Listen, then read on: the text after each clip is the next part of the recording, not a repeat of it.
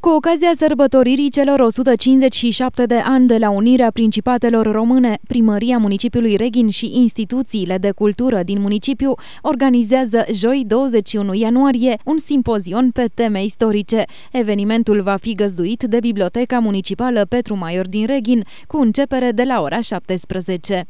Cu prilejul împlinirii a 157 de ani de la Unirea Principatelor Române, Biblioteca Municipală Petru Mai organizează un uh, simpozion având această temă. Uh, vor prezenta comunicări domnul profesor Urzică Sabin și domnul bibliotecar dr. Uh, Florin Benjan. De asemenea, se va prezenta uh, o carte Arhiviști reghineni, a cărei coordonator este uh, dr. Liviu Boar, uh, directorul Arhivelor Naționale Mureș. Unul dintre momentele deosebite din istoria națională este ziua de 24 ianuarie 1859. Atunci, țara românească și Moldova s-au unit într-un stat care la vremea aceea s-a numit uh, Principatele Unite ale Țării Române și Moldovei.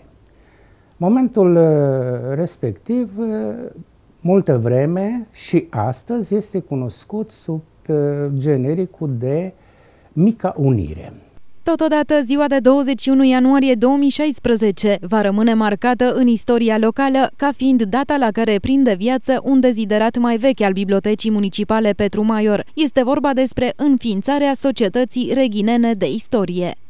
Cu această ocazie înființăm, uh, mai bine zis, demarăm un proiect la care noi, biblioteca, ținem foarte mult, înființarea Societății Reghinene de Istorie. Uh, și avem un parteneriat încheiat cu Inspectoratul Județean Mureș. De aceea, la evenimentul nostru uh, va fi prezent și domnul inspector uh, profesor Constantin um, um, Bogoșel, dar și domnul inspector preot dr. Claudiu Chiorian, sunt invitați să susțină proiectul nu doar istorici, ci și profesori de religie, de limba română, de geografie, toți cei care sunt pasionați de istorie. Așa că vă așteptăm să fiți alături de noi și să ne susțineți. Acest eveniment este de fapt un preambul al evenimentului care va avea loc la Casa de Cultură Municipală duminică.